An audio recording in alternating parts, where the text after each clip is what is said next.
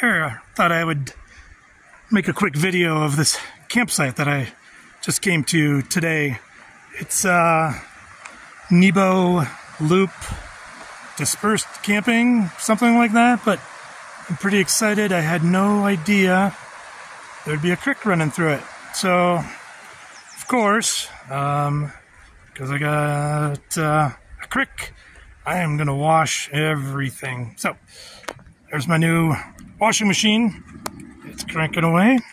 But, man, there's something better. Well, there's no cell phone service, so got Starlink. But, yeah, here's the mountains. But it gets better.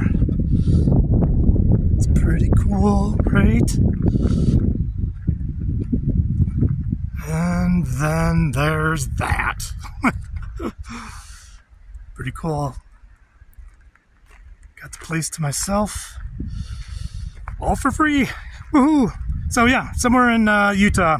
Don't ask me where. All right, see you later.